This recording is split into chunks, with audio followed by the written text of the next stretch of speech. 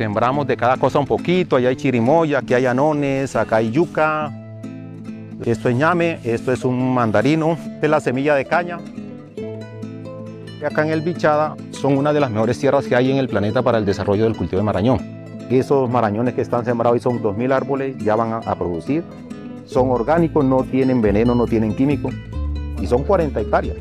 Entonces sí se puede producir y conservar. Nosotros vivimos acá, pero no estamos matando los animales. Llegan venados, llegan dantas, no son un enemigo. Eh, antes son unos visitantes muy queridos por nosotros además.